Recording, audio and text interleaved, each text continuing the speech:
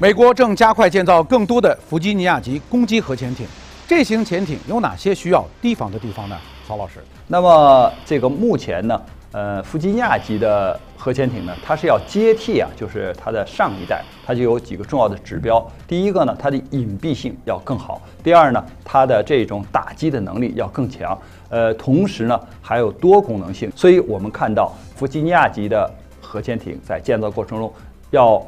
不但能够适应深海大洋的啊这种行动，还要能够适合浅水区的行动，还要能够和水下的大型的无人潜航器对接和联合使用，这样就使它的这种信息化程度和它的这种自动化程度啊，就是大幅度的提升。它的打击能力除了常规的啊五三三毫米的这个鱼雷发射管以外，它还专门加装了垂直发射系统，搭载了巡航导弹，它的这种就是打击的能力当然也就更强。那么我们对于这样的潜艇，一个是要发挥自己的长处，也就是我们常规潜艇比较多，因为常规潜艇的体量小，静音性能好，适合在近海防御作战。我们要通过就是水面上的这个舰艇，还有空中的反潜巡逻机，以及水下的常规潜艇，形成一个合力，来对美国啊，就是弗吉尼亚级的这种潜艇呢，来进行防御。那这样的话呢？我想呢，就可以形成一个立体的啊防沙网啊，